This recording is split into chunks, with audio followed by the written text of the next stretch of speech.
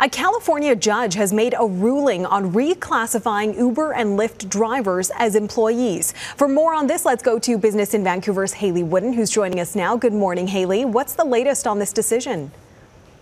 This is a big development in this case. We know that drivers in many jurisdictions have long fought for this classification. Drivers typically considered contractors, but in this case in California, they will be considered employees, which affords them certain rights, including minimum wage, access to overtime pay, and access to paid sick leave. Now, there are nine days until this goes into effect. Both Uber and Lyft have stated publicly that they plan on challenging this order immediately. It's going to be costly for them to implement and comply with this order, and that was acknowledged in court this week. The court in California said that this represents a significant change to the business practices of these ride hailing companies. So we'll see what happens. But if Uber and Lyft are unsuccessful in their attempt to challenge this order, they're going to have to pay more to employees. They're also going to have to do things like hire HR managers to manage what will now be driver workforces and not just networks of contractors.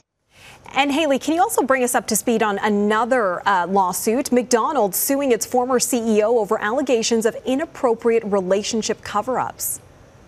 That's right. This is quite a complex case. So last year, Stephen Easterbrook let go from the company over what was described as a consensual relationship with an employee. It cost the company about 42 million US dollars in severance to break their relationship with Easterbrook. But since then, some new information has come to light, including the fact that Easterbrook had three relationships with other employees. The company claims that he destroyed evidence to cover up those relationships. And McDonald's also claims that he granted hundreds of thousands of dollars in stock to one of those employees. The company saying that it relied on its former CEO being truthful when it came to its decision to let him go last year. They're now seeking damages and an effort to try and stop Easterbrook from exercising his stock options. So we'll see if they're successful in that effort. We will indeed. All right, Business in Vancouver's Hayley Woodin. Thanks as always. Thanks, me too.